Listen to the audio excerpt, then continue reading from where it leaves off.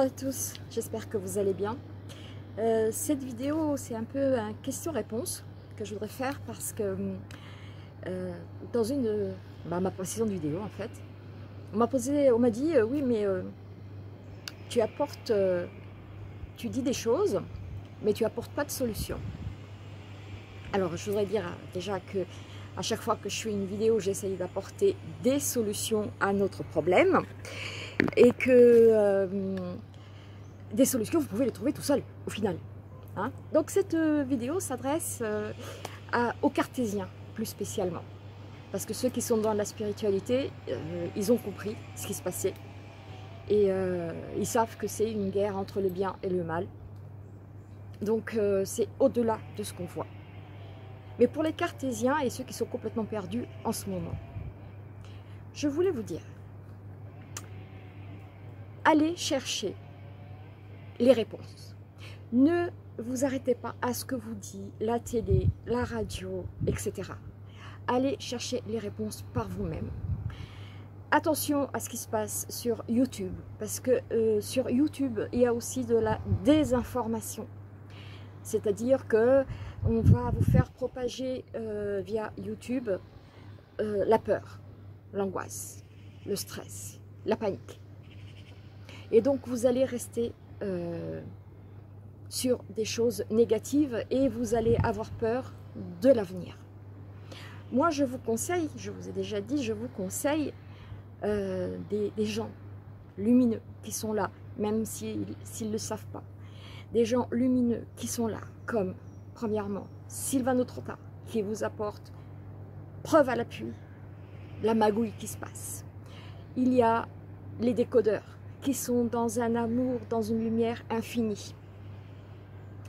Il y a aussi euh, d'autres qui vont venir euh, sûrement pendant la vidéo. Euh, mais déjà, c'est de là. Ah, il y a Mika Deniso aussi, qui vous montre des choses.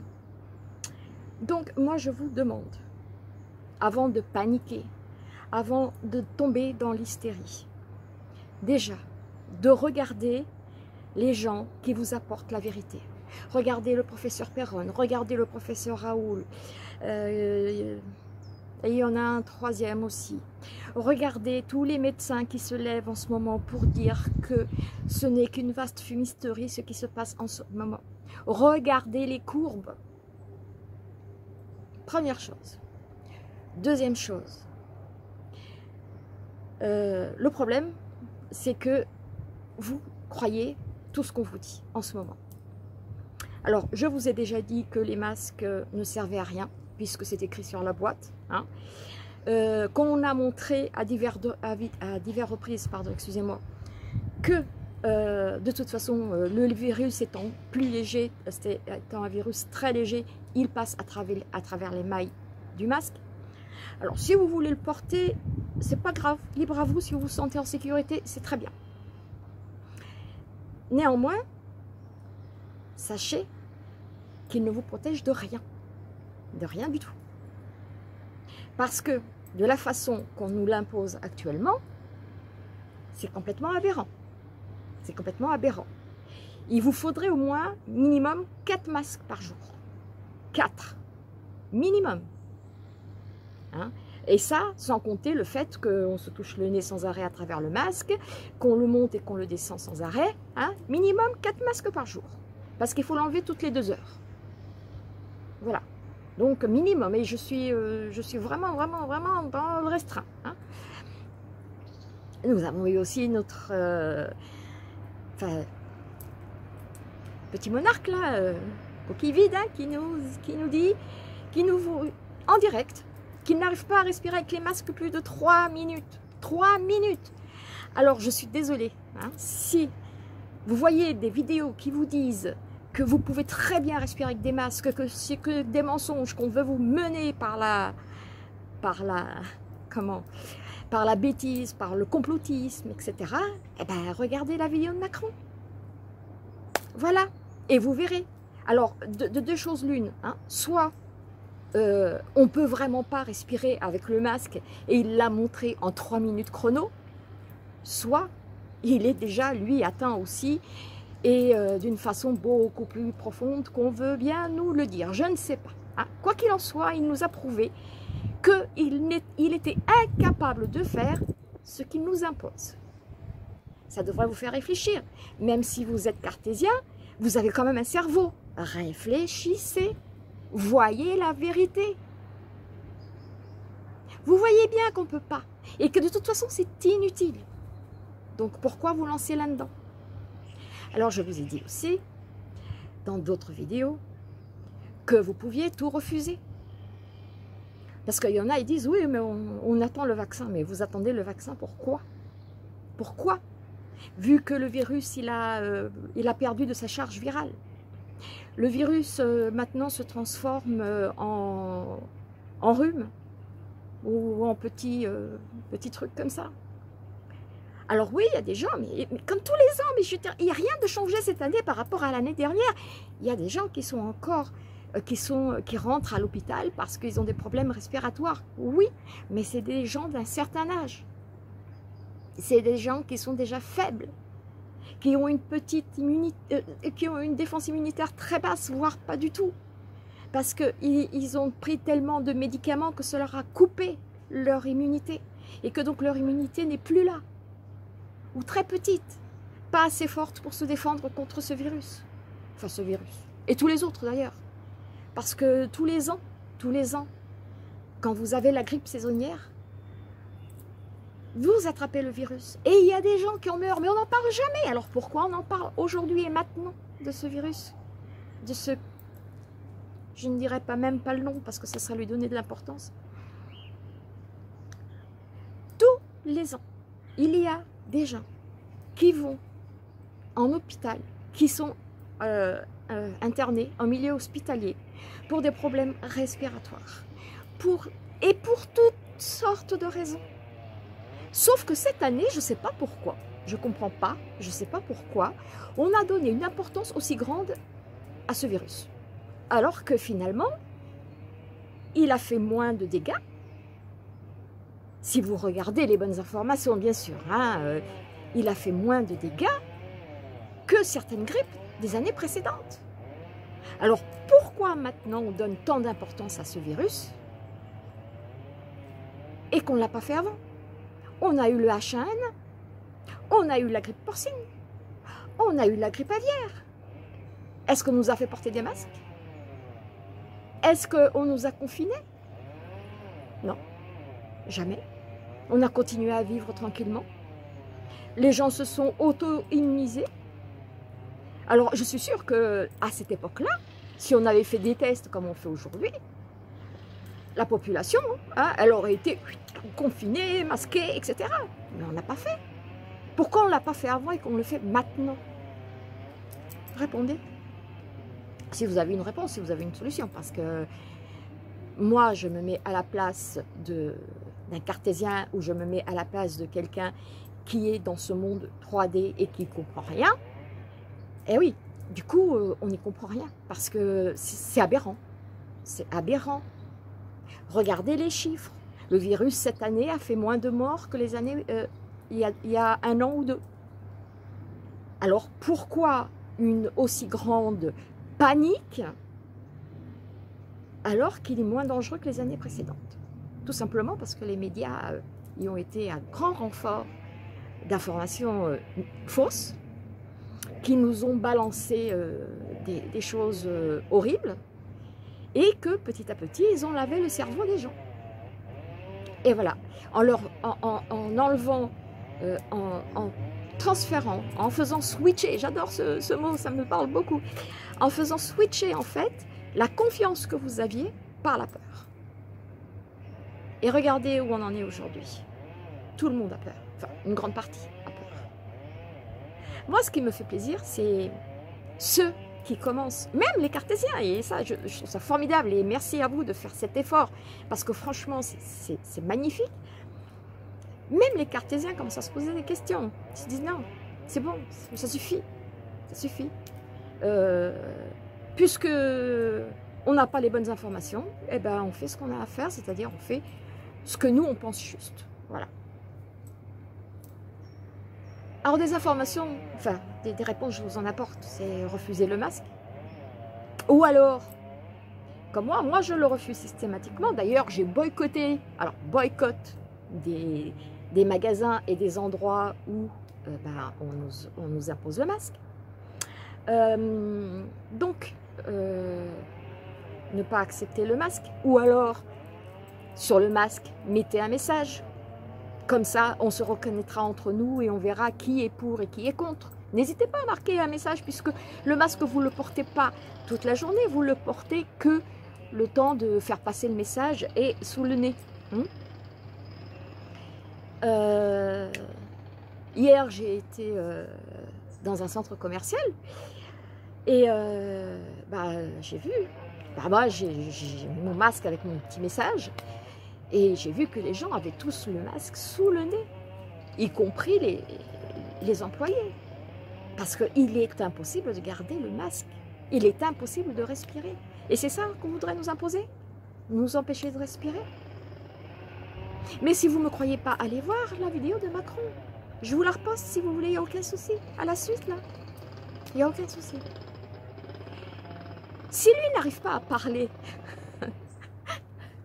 trois minutes, il n'arrive pas à parler trois minutes avec son masque, comment voulez-vous que nous, nous arrivions à le garder toute la journée?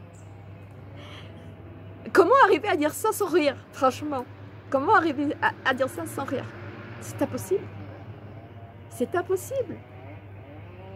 Parce que lui-même nous a montré que c'était une mascarade. Tout simplement, c'est une mascarade.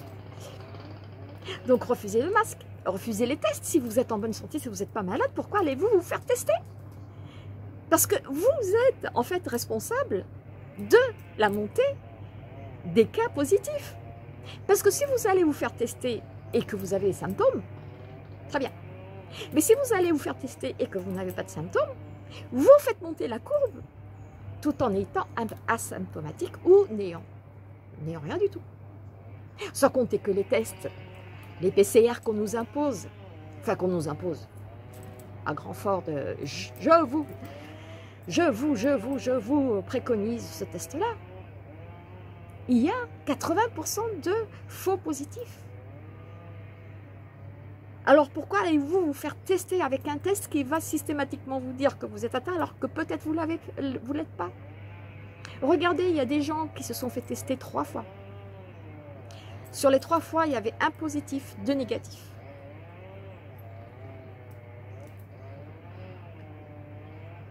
Sans compter que si vous faites tester trois fois, vous ne comptez pas pour une seule personne. Vous comptez pour trois.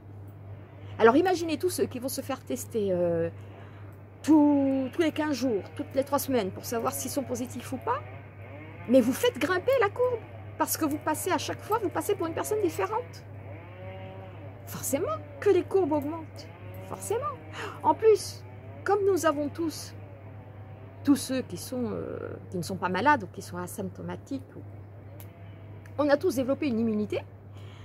Donc du coup, il y a de fortes chances qu'on soit tous positifs, mais qu'on ne sache pas. Qu'on n'ait pas de symptômes, qu'on n'ait rien du tout. Alors, si on n'est pas malade, pourquoi aller se faire tester? Je ne sais pas, je demande. Pourquoi alors, pas de test, pas de masque, sauf pour euh, mettre un petit message, j'adore. Pas de vaccin forcément, hein. ça serait trop facile, hein, parce que cette mascarade va nous durer, euh, si on ne s'oppose pas à ça, ça va nous durer jusqu'à la Saint-Glingla, hein, donc pas de vaccin. Et euh, si on vous impose un vaccin, ben il n'y aura pas d'imposition de vaccin. Parce que il est impossible à l'heure actuelle d'imposer un vaccin. Impossible. Parce que les gens se réveillent. Donc il est impossible. On vous dit, vous aurez plus accès à votre compte en banque? Ah, la bonne affaire. La bonne affaire. Il y a des moyens, hein. vous n'avez pas besoin d'un compte en banque. Ah ouais, c'est plus compliqué. Mais vous n'avez pas besoin d'un compte en banque. Ah, les gens, ils ont, ils ont qu'à revenir à l'argent à l'argent euh, papier. Voilà. Vous recevez euh, votre argent chez vous. Vous n'avez pas besoin d'un compte en banque. Donc quand on vous dit que vous n'aurez plus accès à un compte en banque, c'est à vous de contourner et dire ben, j'ai pas de compte en banque. Donc, euh, bah, vous, vous devez me payer autrement. C'est tout. Donc, pas de vaccin, pas de distanciation sociale. Parce que quand je vois ce qui se passe dans les EHPAD, que les gens ils meurent de tristesse, c'est même pas du virus, c'est de tristesse, parce qu'ils ne peuvent plus voir leur famille. Les, nos anciens meurent parce qu'il n'y a plus de, de convivialité. Déjà, ils étaient tout seuls dans leur coin, et maintenant, on nous empêche carrément d'aller les voir. Parce que quand on va les voir, il faut qu'on soit à distance. Comment faire pour embrasser cette personne qui nous est chère, notre ancien, notre... Comment faire pour l'embrasser Comment faire pour lui montrer notre amour? Pas possible. Donc ne pas l'accepter. Refusez le reconfinement parce que regardez bien les informations, on vous dit que les pays qui n'ont pas confiné sont moins, ont des, taux de mortalité moins élevés que la nôtre. Donc pourquoi ce confinement? Pourquoi? Confinement. Refusez le confinement.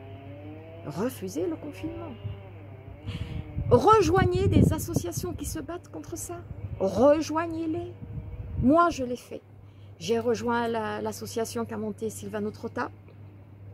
J'ai rejoint l'association, tiens, ce je vous parlais tout à l'heure euh, des gens lumineux, l'Alliance euh, l'Alliance humaine 2020 aussi.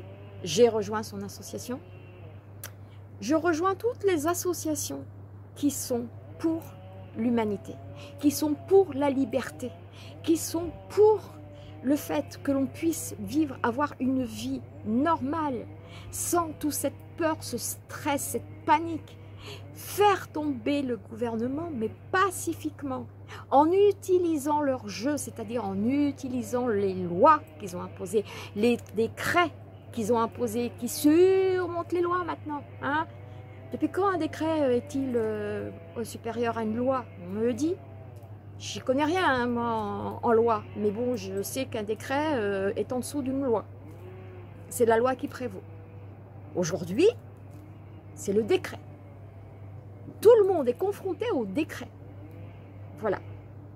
Et dès qu'on s'attaque au décret, T'as le voyant de l'Élysée, euh, Monsieur Véran, qui vient nous rabattre un samedi pour le dimanche pour mettre à mal tous ceux qui luttent contre ce décret. Bah oui, bah, c'est-à-dire qu'ils n'ont pas trop le, temps de faire une loi qui contredirait la loi précédente. Hein. Voilà. Donc, euh, ces décrets-là euh, sont bons en, en cas d'urgence sanitaire. Ce qui aurait pu être le cas quand on nous a interdit d'avoir des masques. Voilà. Aujourd'hui, ce n'est plus le cas. Et le confinement et les masques n'y sont absolument pour rien, si ce n'est plus le cas. C'est juste que nous avons développé une défense immunitaire contre le virus, comme nous le faisons toutes les autres années. Vous êtes cartésien, Encore une fois, vous avez un cerveau. Réfléchissez. Arrêtez d'être dans la peur.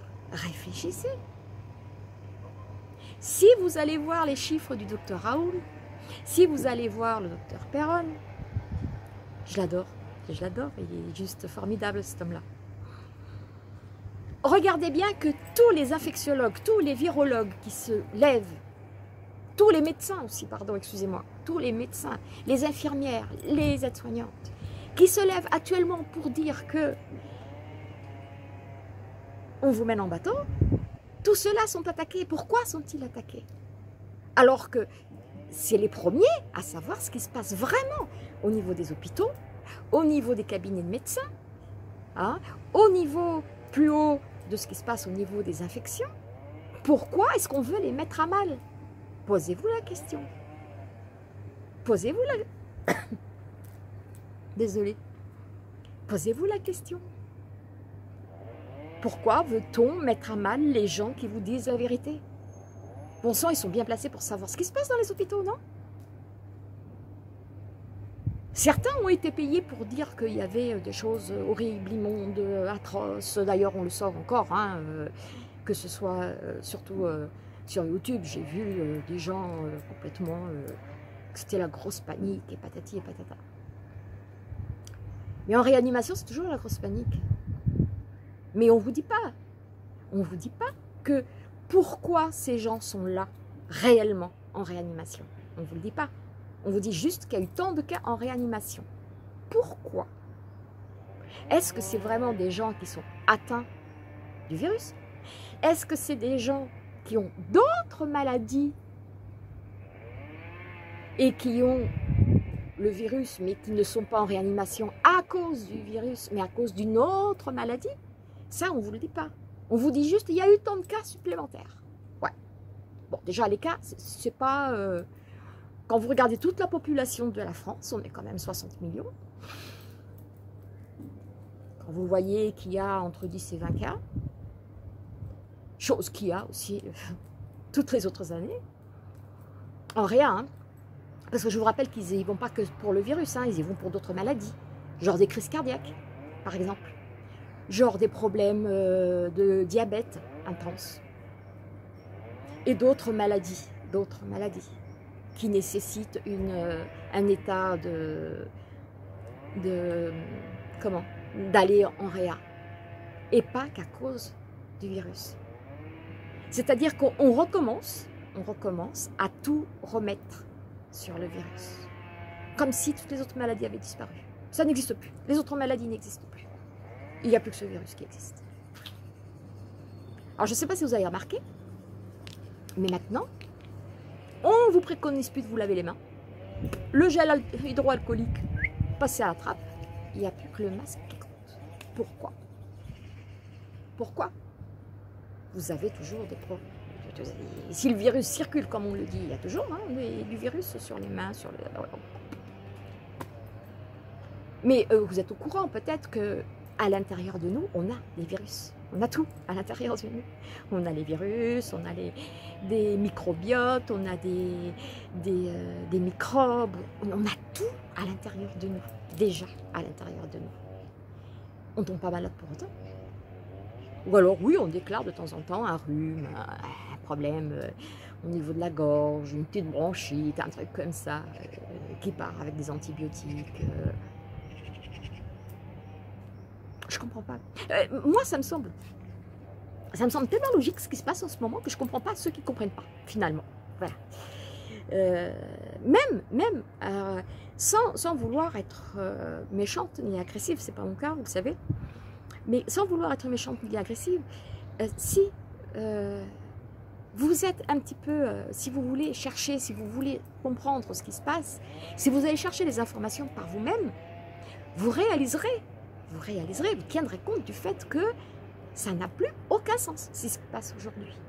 Ça n'a plus aucun sens. Donc c'est à vous de vous lever et de dire non, ça suffit. Alors je ne vous demande pas de partir le fusil à l'épaule et d'aller vous battre, euh, Dieu seul sait où. Pacifiquement, vous dites non.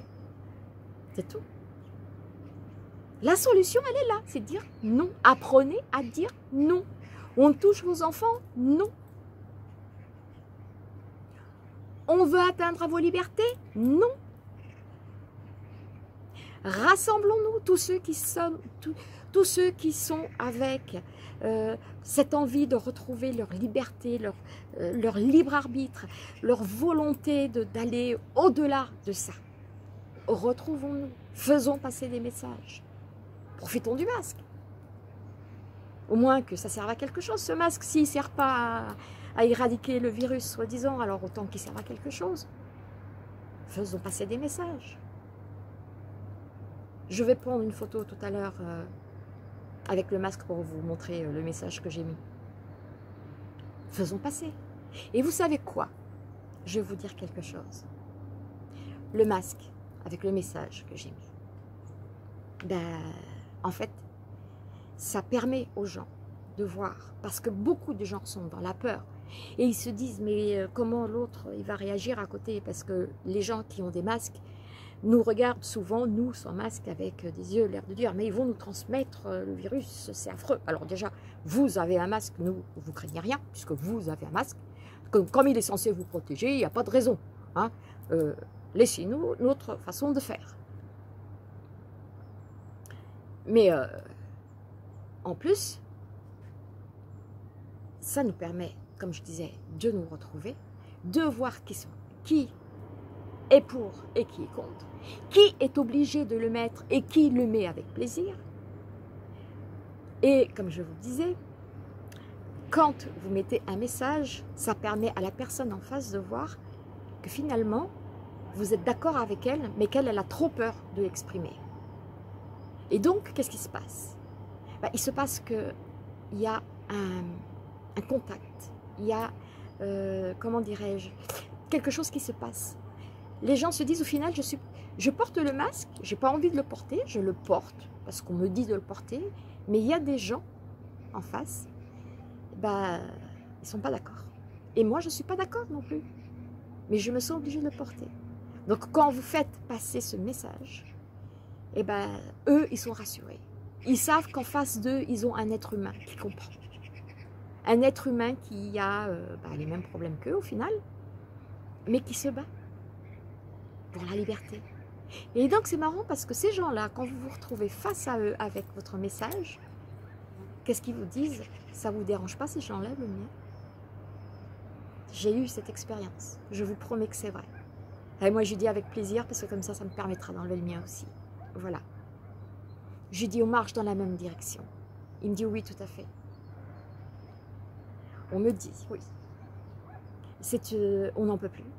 On n'en peut plus. Et ça, que ce soit des médecins, que ce soit des gens qui travaillent en pharmacie, en milieu hospitalier, ils disent on n'en peut plus. On n'en peut plus. Donc en fait, les gens qui travaillent en milieu hospitalier, je vais vous dire, ça se comprend, hein, parce que régulièrement, ils ont le port du masque, mais ils ne le portent pas tout le temps non plus. Hein ils ne le portent pas 8 heures par jour. Ils le portent qu'au moment des visites. Éventuellement. C'est tout. Donc arrêtez avec cette peur et dites non. Pacifiquement. Faites passer des messages et écrivez sur votre t-shirt et tout. Il fait beau encore en ce moment. Il fait chaud, quoique là, euh, ils nous ont prévu de la pluie pour les deux prochains jours. Mais bon, passez, faites passer des messages. Faites passer des messages comme ça, vous retrouverez des personnes qui sont avec vous, qui se battent aussi, mais qui ont peur de le montrer. Ils, on peut comprendre qu'ils aient peur. On peut comprendre qu'ils aient peur. Et c'est tout à fait normal. Mais s'il vous plaît, s'il vous plaît, Faites travailler votre cerveau, regardez la vérité, s'il vous plaît, je vous en supplie, regardez la vérité. Après, vous adhérez, vous adhérez pas, c'est tout à fait votre droit, vous avez le droit de ne pas adhérer. Mais s'il vous plaît, regardez la vérité. Elle n'est pas si terrible que ça. La vérité vous délivrera, vous enlèvera cette peur que vous avez, cette angoisse, tout ce qui vous panique en ce moment et qui, qui vous fait crouler sous, sous des, des angoisses pas possibles, elle ne sert à rien parce qu'elle n'a pas lieu d'être. Regardez les infos, elle n'a pas lieu d'être. Tournez-vous vers des associations, tournez-vous vers des, des, des, gens, des groupes de gens qui sont là pour se battre contre cette euh, oligarchie, cette démocratie qui a été masquée et qui n'a plus, de raison d'être.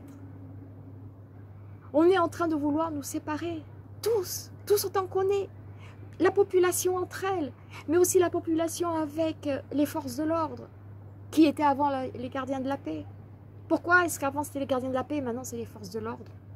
Vous vous êtes posé la question? Pourquoi est-ce qu'on a changé le nom? N'y a pas de raison de changer le nom.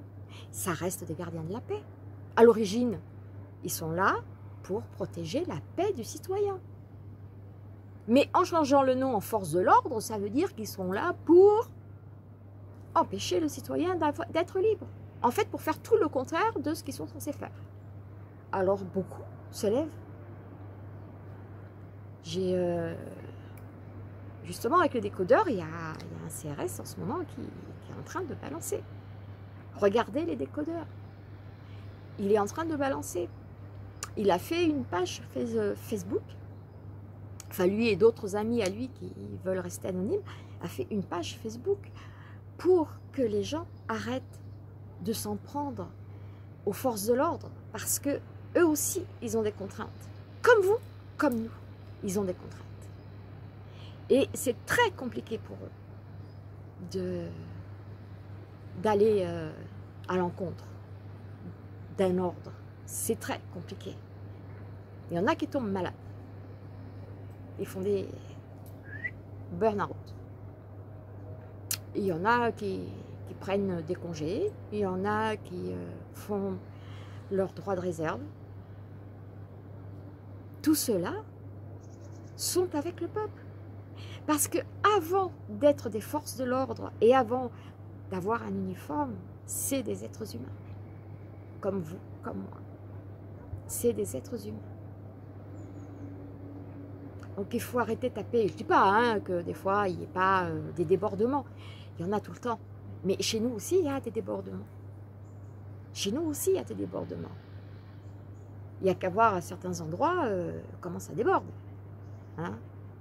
Les gens sont, certains sont derrière la fenêtre, comme le temps de la Gestapo, les gens sont derrière la fenêtre pour dire euh, attention, je viens de voir quelqu'un qui ne fait pas ce que vous dites de faire. Alors, euh, il faut arrêter. Je pense qu'il est temps de choisir son camp. Depuis le temps que je vous l'ai dit, d'ailleurs je l'avais marqué sur ma page, et c'est encore, hein, sur ma page, c'est Maria choisit l'amour. Parce que j'ai choisi mon camp. Vous, est-ce que vous avez choisi votre camp? Ne restez pas les fesses entre les deux chaises. Maintenant, il est temps de choisir de quel côté vous voulez vraiment vous positionner? De quel côté vous voulez vous positionner? Voilà, j'espère avoir répondu. Euh, ça fait 31 minutes, euh, bientôt 32 que je suis en train de vous parler. Le temps a passé à une vitesse incroyable. Euh, je vais vous mettre la vidéo de, de notre président, au cas où certains ne l'auraient pas vu, hein, pour vous montrer où on en est exactement. Sinon, je, je, je vous conseille d'aller voir donc Sylvano Trotta, euh, les décodeurs, euh, l'Alliance humaine 2020, euh, Mika Deniso, entre autres, que j'ai oublié, mais que je vois souvent. Et je vous conseille d'aller les voir parce que eux font des recherches. Eux vous apportent la vérité telle qu'elle est et non pas telle que veut vous faire croire les médias qui sont payés euh, par euh, Bilou Bilou. Hum. Informez-vous. Attendez pas qu'on vous apporte les réponses. Vous avez les réponses en vous. Apportez-vous la réponse que vous voulez voir. Qu'est-ce que vous voulez vraiment? Alors je vous pose la question. Qu'est-ce que vous voulez vraiment? De quel côté voulez-vous être? Est-ce que vous attendiez qu'on vous apporte euh, la béquille comme euh, les oiseaux? Parce que les oiseaux, euh, ils attendent de ça. Hein. Quand ils sont trop petits, on nous apporte la béquille. Alors, est-ce que vous voulez qu'on vous apporte la béquille et qu'on vous dise, tiens, aujourd'hui, tu auras à manger?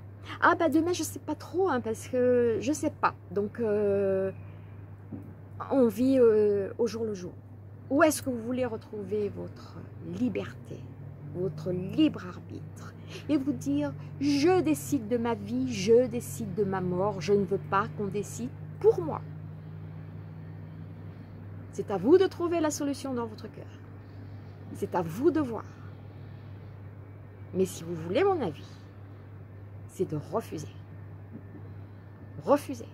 Pacifiquement, mais refuser. Voilà. Ah ben voilà. Eh bien écoutez, sur ce, je vous souhaite une très bonne journée. On est euh, le jeudi 10 euh, septembre. 10 septembre. Il est 9h30.